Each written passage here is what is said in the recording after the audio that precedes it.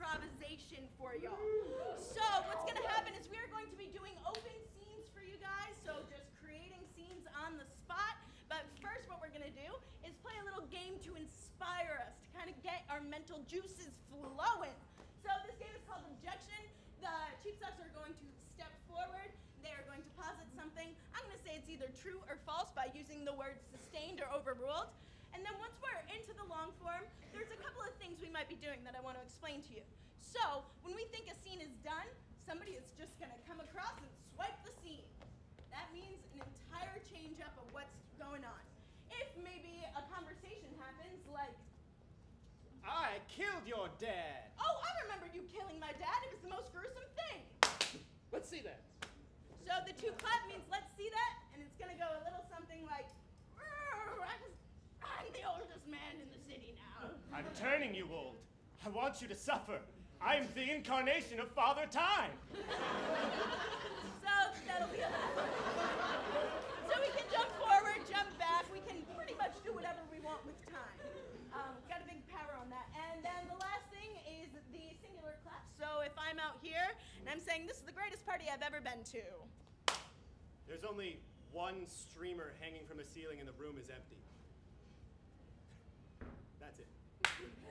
I love this streamer. So something like that. With the one club, we can change up what's going on in the scene. So just wanted to let you guys know what's a little bit going through our heads. And without further ado, we'll get started with objection. So can we get a one-word suggestion? Spiders. Spiders. I heard spiders. Spiders aren't scary. Spiders are the one thing keeping this world together. Have you heard of a web? Spiders invented that. Spiders are smart critters, okay? And every time you step on one, Objection! Spiders get extremely upset when they're called critters. Sustained.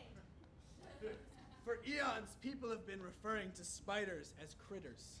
Like that's some blanket statement that we can just apply to all animals in the animal kingdom. But spiders are different because spiders are really made from little particles of love that are just joined together in the bottom of like a of a uh, you know a, uh, a chocolate. Objection. The animal kingdom is not a kingdom, it's a family. Sustained. The animal kingdom is really a family. You got you, you got you got Papa Lion, right? You know, he's taking care. He's taking care. He's making sure everyone's doing the thing they're supposed to do. He's, he- The mother lion is in charge. Sustained. The mother lion doesn't do shit. The mother lion is the one who gets things done. You do not mess with the mother lion. You come near her cubs, she's gonna kill you. That's what happens when you mess with the mother lion. In fact, one of the most common instances among lions is when other animals approach their watering hole, such as wildebeests or hyenas or anything else that might make a nice lions don't drink water. Lions live on air. Every single documentary you've seen shows lions eating things, but they only spit it out later. That's just to assert their dominance. Lions are, are Objection! Dominance cannot be asserted, it's natural. And dominant are born that way. There's no asserting dominance in any one situation. If a person is born dominant, then they are a dominant person. It's a dominant gene inside of them. If a person is not dominant, they're born without the dominant gene. And then they just live their whole life as a very passive, sort of slug like creature that kind of slips its way all over the ground and says things like. Objection. Sometimes slugs turns into horses. We're all very familiar with. Uh, at certain times, slugs, the, the less dominant things, the recessive things, can turn into great big horses and stride across the plains in great dominant strides, which they take using their dominant feet. My point here is that transformations Objection. are. There's no such thing as feet. there is no such thing as feet.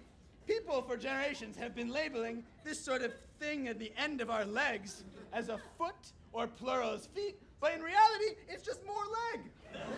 It's just all, it's the same thing. We, we make this like distinction. Your leg is just more body. People have been labeling this thing on the bottom on the bottom of their bodies as legs for all this time, but this is really just more body. And really, the body is just more mind, and the mind is just more atoms, and the atoms just more universe. So we're all just one big universe.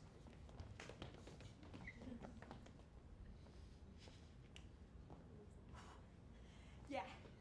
Yeah. I got the routine down. I am so, so pumped for that beauty pageant this weekend. Blew your mind, didn't it? You know what it was? The jazz hands. There's a poster on the wall that says Jazz Hands Beauty Pageants this weekend. I am going to thrill them. Who would have guessed Mickey Mouse gloves? No one. That's who would have guessed Mickey Mouse gloves. Whew. Minnie.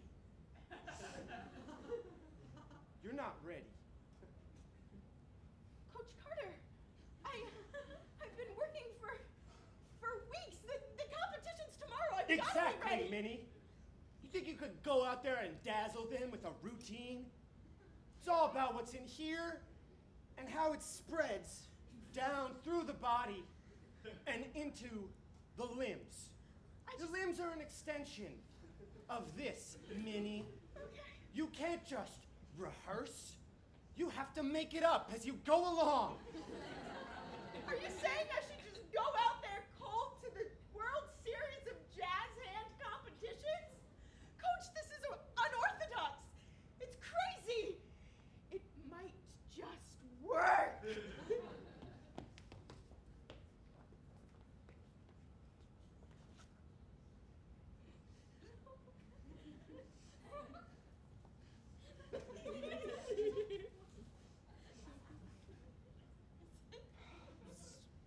Steven?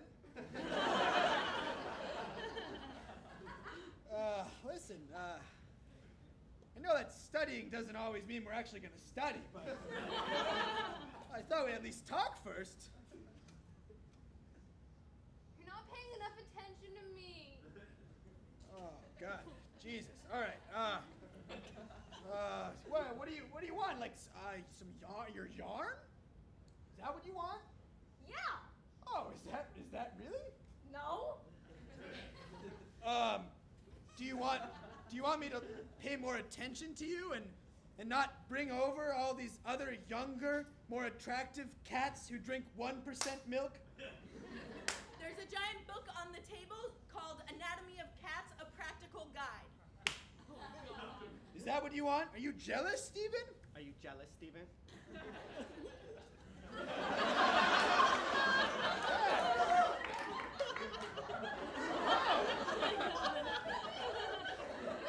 Tom, the cat is here.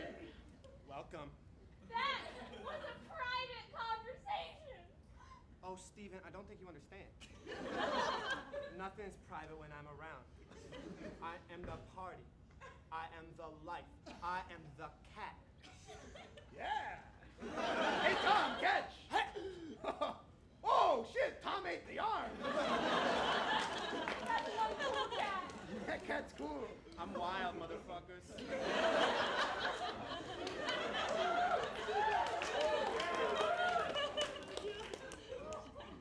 Hey, Robbie, I've been looking over your business proposal. Yeah, well, I think it's pretty good. Hey, you come a long way, kid. You know that? well, gee. Thanks, Scott. That means a lot. I mean, you know, I've been watching you over, uh, you know, over your shoulder. You know, I, Hey, we share the same cubicle. It's not hard. you know, I, I still. When I had the when I had the stool and I couldn't turn around, that was just killing me. When I got that office chair, When we stole that office chair, Let's see that. oh fuck, oh fuck, fuck, those are the guards. Okay, okay. If we just if we just both sit down on it, that, that maybe they'll think it's it's it belongs to us. Ready? one, two, three. Just, just act real chill. Okay, now we're gonna roll out.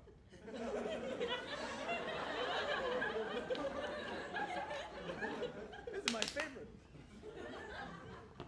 Now I can turn around, see what you're doing, learn from you. Education. That's what we need this company. Yeah, well, ever since boss, you know, he, he had us do all the, the you know the new formatting, you know, it's just It's all streamlined. It's all, there's no process. It's just product. He got into that weird mindset, you know? He's like, everything has to be the same. You know, like your, your project's just an extension of the idea. you heard that? He keeps saying that to me. Hello, Stephen. Hello, Stephen. Boss. Boss. He calls us all Steven. It's really weird. Who the fuck's Steven? I don't know. Apparently, we're part of Steven. Yeah, well, you know, did, did you look in the mail? No, I haven't yet. Well, when you do, you'll find your new ID card. It says Steven on it, doesn't it? Yeah, you're not Scott anymore. Listen, man, I know you came into this business years ago as Scott. And you were the man. You were the man with all the ideas, going through the process. You were going through it all. I brought you up, I brought everybody else up. Hey, you're right. I should be running this place.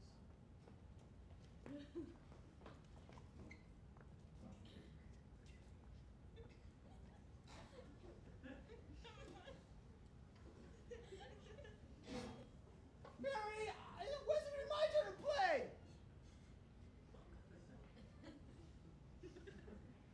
Carl, it will be your turn to play when you are the one who gets thrown in jail first. If you get us a jailbreak, then you're entirely welcome to be the one making funny faces at the guards. But until then, I will continue. What's wrong with that guy? Oh, Yeah, no, it's fucking weird. I- Mary, it's just, it's just boring back here.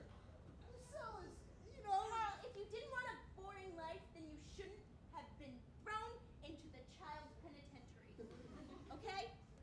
Oh, Yeah, Billy, you go in there and you think about it next time you decide to eat glue. oh, Fresh meat! Fresh meat! Fresh meat! Fresh meat! Fresh hey, kid, you got any crayons on you? Yeah, got any toys, huh? Any toys that we can break in front of you while you cry, cry, baby? Don't worry. I, I do have some glue I smuggled in. Hey, ho, ho, now we're talking. Do you know how much this goes for on Cell Block B? That's where they've got all the pre-K kids.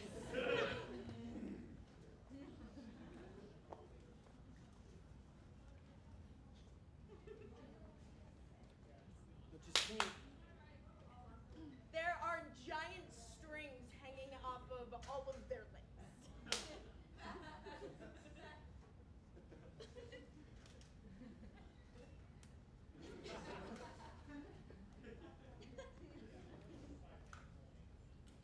I love you, Ronald.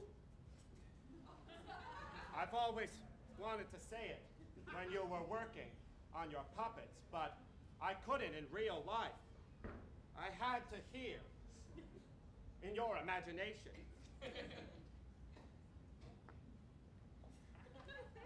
Larry! this isn't going to work out. Ronald, are you dumping me in your own fantasy about us getting together? Yes! Well, this is really an emotional turn here at the Puppeteering International Competition. we'll see how it plays out for Marion and Ronald, who happen to be the puppeteers. Hey, hey, um, Mary, Yeah, Ron? do you think maybe we should just drop this pretense and talk like normal adults again? A quick audience poll has said that no, you shouldn't. America has spoken. You never did the dishes! You didn't respect me in bed! You bitch! I'll take you down! This isn't as effectual on my actual, like, emotional state as I thought it would be. Ron, can you watch the strings? You're gonna break them. Shut up, you bitch! Oh, Oh, oh, God! Oh, oh, actually, this is sort of erotic, actually.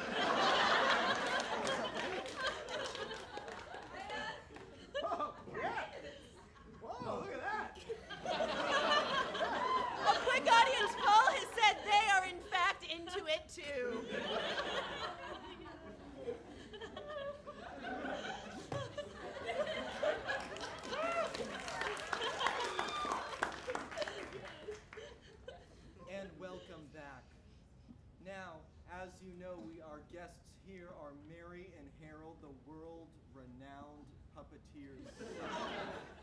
we Uh, were uh, just Craig. Craig, it's, it's Ronald. It's Ronald. You, I grilled you on this before the show. It's Ronald. Yeah, that's wrong. I know. I know. Just we'll let we'll let him slide. Never should have fired me. I'm sorry, by now you should be seeing a banner right under my breastplate that is showing that it is indeed Harold, not Ronald. There's a breast, uh, um, a, a banner right under his breastplate that says it is indeed Harold, not Ronald, and the original announcer had gotten it wrong. There's also a big banner in front of the podium which he's standing on that says, The Morning News with Larry the Knight. Now, we all remember the very metaphysical experience that went on when the puppeteers became the puppets, and the puppets were very much so a reflection of the relationship between the two of them. what was going on at the time? I'm dying to know when, when all of the strings were intertwining in so many different ways.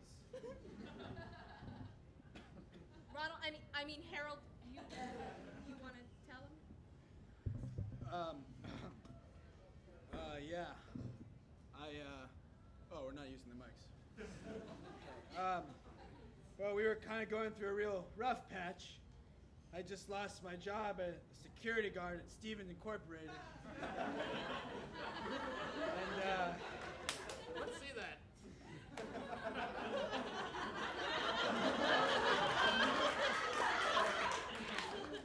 Yo, let's take this chair.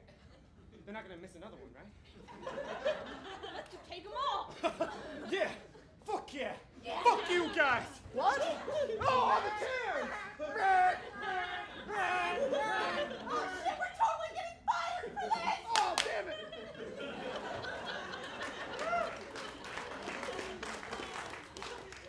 and uh, we were on sort of shaky ground in our marriage as well. We've uh, we've been trying to support ourselves with my artisan's salary. You see, I make the puppets we use. It's a very fine craft. She doesn't get paid a lot doing it, though. I mean, like nothing. It's my passion. I know, I know. We can't eat passion, though, Mary. Seems like there is some strife, and you are. Um, I, I, I hear, Mary, that you are you are looking everywhere you can for materials for making the puppets. Um, would you mind telling us a little bit about uh, what sort of recycled products you've been using lately with your most recent puppets? Yes, thank you. Actually, lately I've been finding graffiti wherever I can and incorporating it into my puppets. Or uh, if I just kind of see something, I might take it, and put it in. like my toothbrush, for example. Or my hairbrush. Or my brush that I use for my horse. Speaking of brushes, don't even bother brushing your finger over the remote control. We will be right back with more from Marion.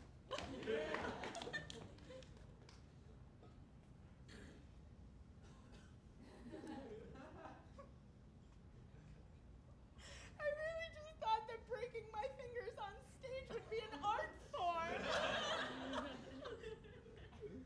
Minnie, who told you it wasn't? Fuck those judges, Minnie. What you did out there, Be careful! that was art, Minnie. Sorry. Just, how should I hold it? By the shoulders. That was art, Minnie. Thanks, Coach Card. Just call me Aaron. I was like you once. People told me what to do. And now, I'm a coach who tells people to not listen to people who tell people what to do.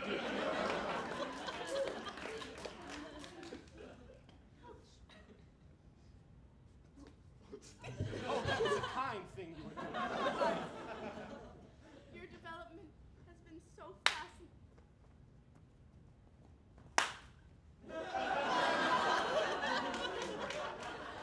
And I just can't help but feel like we belong together.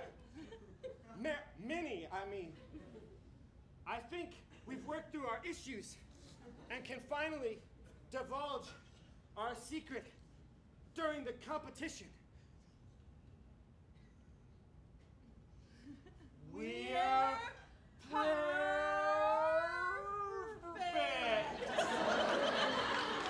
And scene!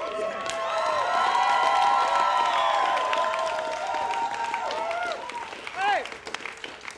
So, we have one more game for you guys. Thank you for such a great audience. Um, this last one is called Nell. The way it works is we're going to tell a fairy tale for you. So we are going to get a fairy tale, yeah. Um, for example, Snow White, but not Snow White because I just said that. So um, I'm going to get a fairy tale from you guys. What was that? It's probably Canadian. Cinderella. No one knows that. Okay, yes, we'll go with the elves and the shoemaker. Um, can you please? Can you come up We're there? gonna, we're gonna find out. Can you please come up here, sir?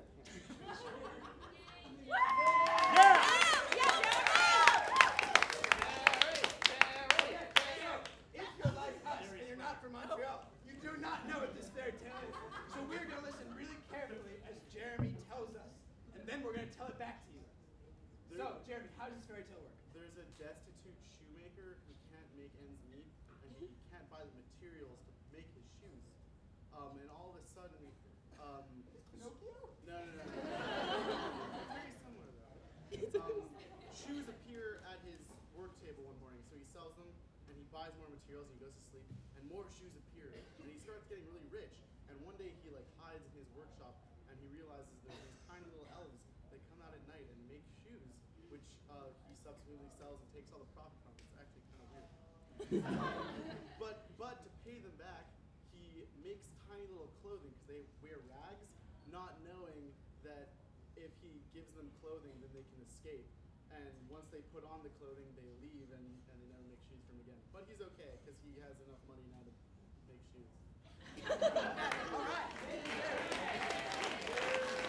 So, um, there's one more mild complication here, which is that each of these socks will step forward and ask a question to the audience, and that the answer to that question will inform the way that they tell this story. So I think you will get it once we do it. So um, will you guys step forward and ask questions? Um, if you were to go to the Humane Society, what kind of animal would you pick out to adopt? Oh! I'm sorry, what was that? Kangaroo. Kangaroo. If you were an old style of music, which one would you be? Swing. Swing. Uh, what's your favorite horror movie? Grudge. Grudge? Snow White. Grudge. The Grudge. Um, a body part to cut off. Head. Could I have a favorite jazz age author? Thank you. F. Scott Fitzgerald. All right. So we're going to review. Um, Katie, what is your word? Kangaroo. Kangaroo. Swing. Swing. The Grudge. The grudge. Head. Hey. F. Scott Fitzgerald. And that's Scott Fitzgerald. So we are going to tell you the story of the elf and the shoemaker, the elves and the shoemaker, um, using those suggestions. Cheap Sox warm up. Cheap Sox warm down. And begin. He ran out of the last shoelace. He remembered back two years ago the last time that happened, and he Wanted to get down a little bit on the floor and search around for new materials because he was all out. But he couldn't find anything. It was the end of his business. He was out of it. He was out of the game. He couldn't get back in. He was gonna be broke. This destitute shoemaker who'd moved to New York City with a dream and a woman and a picture in his pocket knew he'd have to find another way to make a living.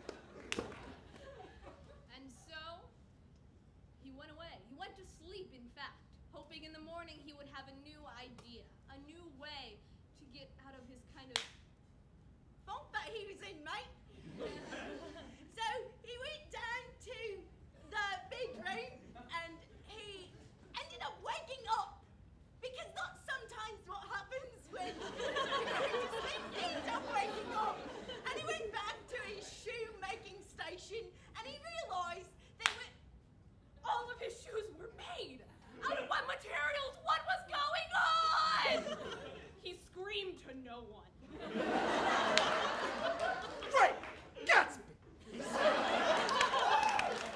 to an empty room, or so he thought. That day, he sold as many shoes as he could before heading down to the pier to stare. To stare off into the water and uh, recollect on what happened, happened to him. So he slid back home and decided to go back to sleep, hoping that maybe in the morning there'd be more shoes at his doorstep. And as he slept, he went from level 3 to level 4 and back from level 4 up to level 3. And his sleep cycles went around and around. When he woke up, his eyelids opened. Which has happened to do sometimes when you go to sleep. Your eyelids will open in the morning. So he went down to a shoemaking shop, and what could he find? But more shoes! More shoes! More shoes! They were everywhere, and he slid right out of his house and slid into the market and slid those shoes on other people's feet. So he made a killing. A killing indeed. It was like he had just run someone over due to a very complicated love triangle of sorts. He screamed as he ran someone over. But it was too good to be truth. Truth was what he was searching for. He searched with his eyes, all of his senses, really, except for his touch. he didn't touch anything. But he did use his hands, except not to touch, to just feel the air around him. And he ended up sensing some very tiny people. Now he was groovy with the tiny people that he was not feeling, but really had a good sense of with his other senses. He uh, began to realize that there were actually little tiny funky elves. Making all of his shoes? He hid in the closet and watched them as they worked. There were these little girl elves putting things together with their gnarled hands. He sensed the temperature of the closet increasing every second. He knew it was time for him to reveal himself. Before he recognized the three girl elves. They were the manifestations of his desire to meet the woman. Of his dreams. Who would never exist because he's a shoemaker. but he realized some of those poor, poor elves had only rags for clothes. So he decided that he would make them the fanciest, swingiest suits. So he, they would get down on the Ground and boogie.